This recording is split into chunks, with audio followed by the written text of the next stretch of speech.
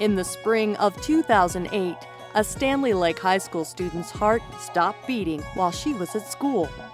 A fellow student, the school resource officer, CPR, and an AED, or automated external defibrillator, helped save this young woman's life.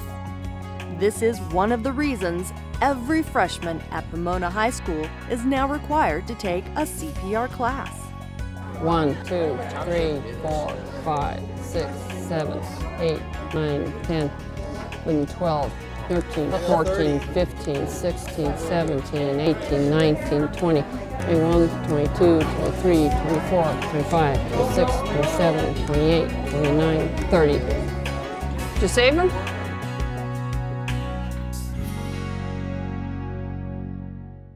When I first come up, the scene is safe for me, I'm going to come up and tap. Hey, you okay? None of this kind of stuff. Okay? No smack in the face. Are you okay?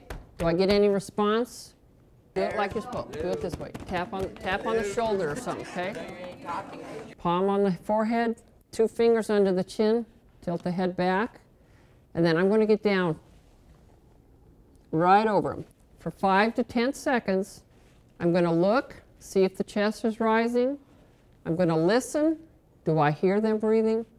And I'm going to feel. Do I feel any air right here on my cheek from the person? You sent somebody. You sent somebody for 911. Basically, it's a family type CPR. It's not a full certification. Uh, they're learning what to do if somebody goes down. They're learning a little bit about the heart, what would cause problems with it, such as heart disease, um, and the arteries with cholesterol and clogging of it. Uh, learning to live a little healthier lifestyle. Um, they'll be able to deal with somebody that goes down, whether it's an adult, a child, or an infant. And I need to give two breaths. So breath one, watch the chest rise, and then it goes back down. Breath two, chest rises, goes back down. After I give my two breaths, then I come down. One hand goes right down, second hand is right on top of it, and I'm going to go down. 30 compressions. Chest compressions are the big important things because it circulates the blood and that's what keeps the brain and the heart alive. Back over to two breaths. So after a minute of that, then I would come down and check to see if I have a pulse. If there's no pulse, I would give two breaths and go right back into all these chest compressions.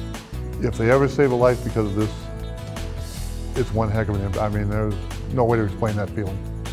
But keep going as long, as long as you can. Do the best you can.